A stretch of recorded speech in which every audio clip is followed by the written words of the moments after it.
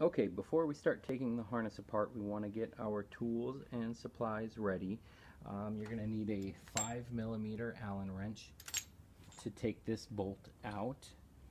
Uh, we'll use our uh, 3 to 4 foot piece of climbing line. This one is the uh, bandit colored 11 millimeter blaze. A half inch climbing line would also work. You'll need two rigging plates. These are the SMC four hole rigging plates. And then I recommend getting a piece of chalk. You'll see where that will come in handy in a little bit. Um, before we take the harness apart, we're going to put our bridge together. But in order to do that, we need to get this ring off, assuming we are going to use a ring on the new one. So let's start by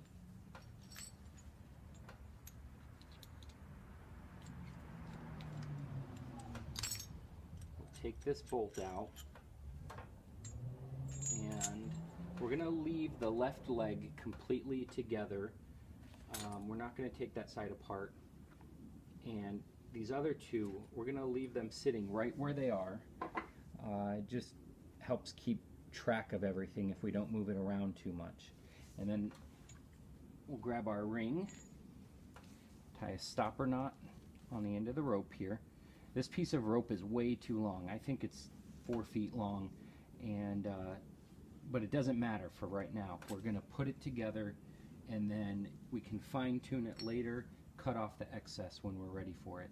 Um, slip your rigging plate through the middle front hole, then add on the ring. And I'm a little OCD sometimes, so I have the front rigging plate has the printing on the inside, so we're going to flip this one over so it matches, put it through the middle hole, and then tie our second stopper knot.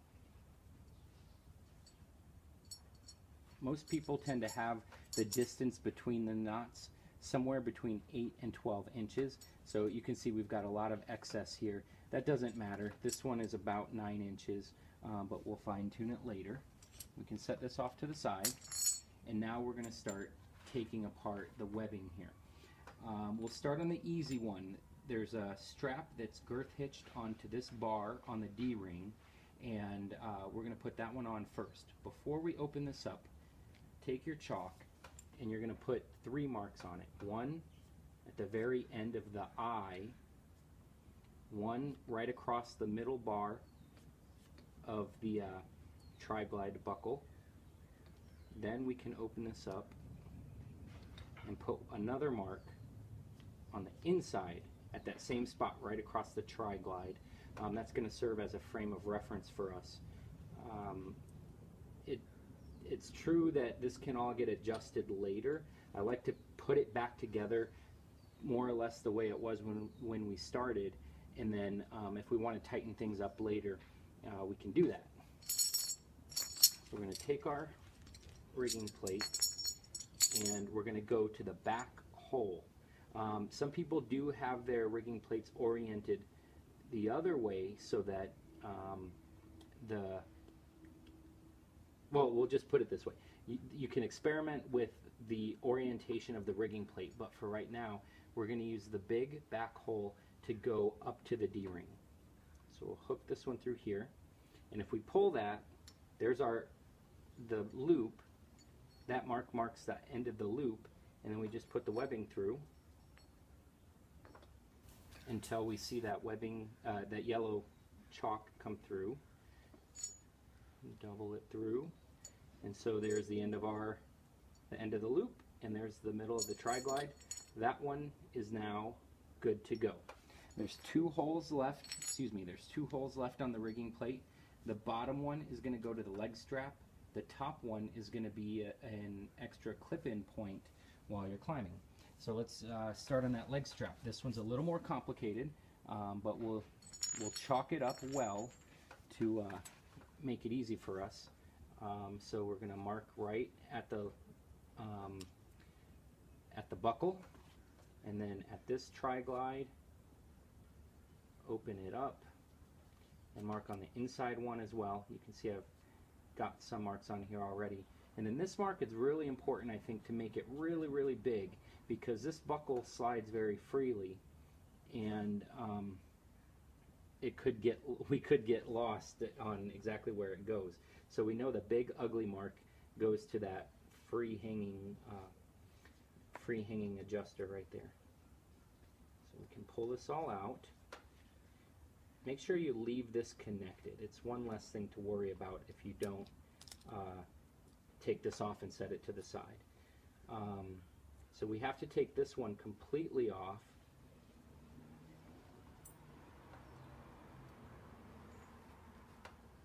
Just set that right there. And then the last one does not need to come completely off.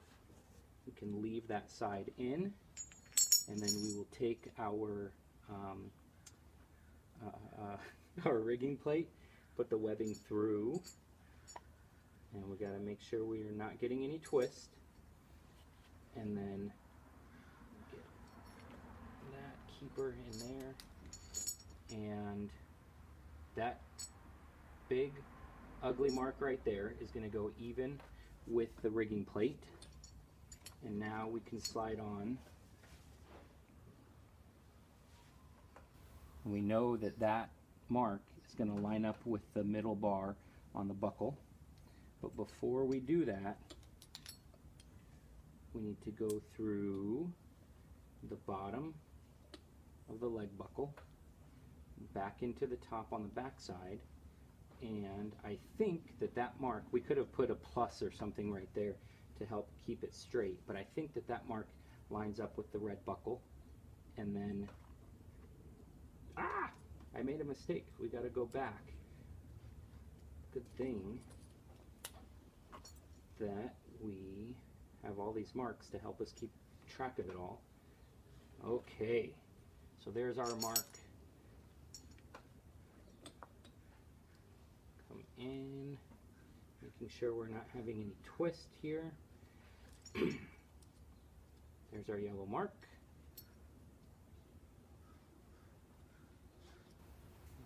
The final yellow mark. Pull that through. And this one is now good to go. We're completely reassembled over here.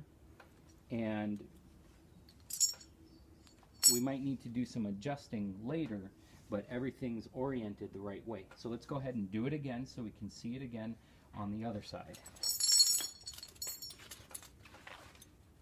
So we're completely assembled over here. We'll take the bridge, the old bridge off. Oops.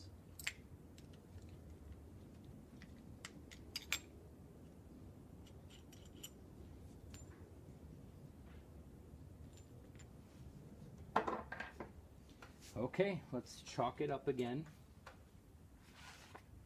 So one right across the middle, one on the very end. Take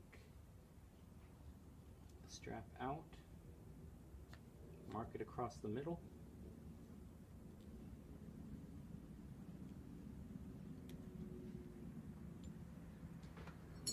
And now we're going to go again to the big hole pointing to the back. That's the first mark.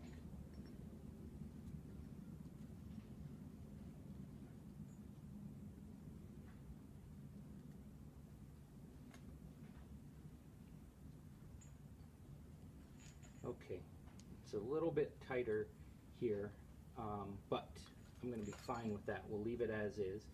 Um, now let's do the leg strap. And just to keep things straight, we're going to make this a big X. So an X at the red buckle. This one gets a mark across the top. Open it up give it a mark across the inside. And then this is our loose loose one that we're going to give the big ugly mark to. And now we take it apart.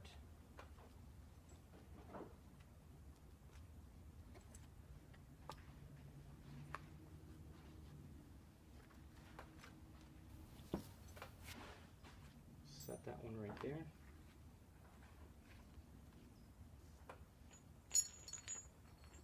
And remember, we're going to go to the bottom loop this time. And if we switch it around, we're going to end up with a twist here. So um, it helps to remember if you were keeping the writing on the inside to make sure that it's on the inside still.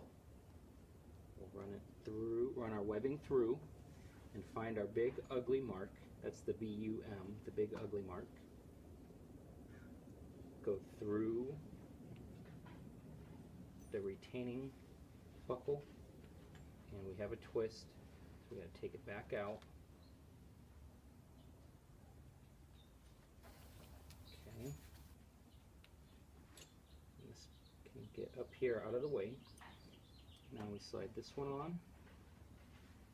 Back to the next mark. And remember, last time we forgot to run it through first. Well, you didn't forget, I forgot. So we have um, the second buckle is in position. We run this through the red buckle. Line it up with our with the X. There's our X. So we'll put that right there. And the rest should be very easy.